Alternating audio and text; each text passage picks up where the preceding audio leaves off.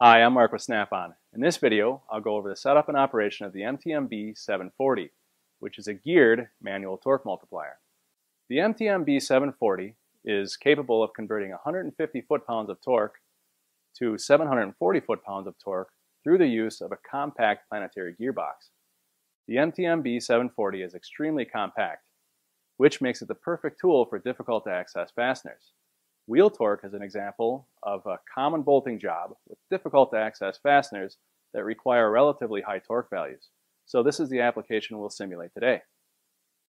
The MTMB 740 comes with two reaction options, a cranked reaction foot and a reaction bar. The two reaction options are easily changed by removing the retention pin. For this application, we will use the cranked reaction foot. The reaction foot can be adjusted to eight different orientations, which allows for more blocking surface options. Keep in mind that it's best to keep reaction forces as close as possible to the same plane as the torquing force. This will help keep the multiplier stable. For this demonstration, the best orientation will be to have the foot in this position. All that's left to do is choose the appropriate socket and drive tool. The MTMB 740 has a half inch internal square input and a 3 quarter inch square output. We always recommend using a torque wrench as your drive tool so that the correct amount of torque is applied. Be sure to use a socket retaining pin. When the multiplier is assembled and you have your torque wrench ready, the assembly needs to be positioned so that the reaction fixture is against an appropriate blocking surface.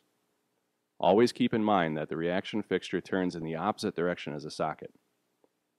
The reaction fixture creates a pinch point. Always keep hands and fingers away from this area. We adjust the torque wrench to the desired value. With the cranked reaction foot installed, the output torque will be 4.8 times the input value. Some very simple math tells us our torque wrench set point. Divide the specified torque by 4.8 and this is a set point for the wrench. If the straight bar is used, we apply a ratio of 4.9 instead. Once the target torque is set, we simply apply torque until the target is achieved.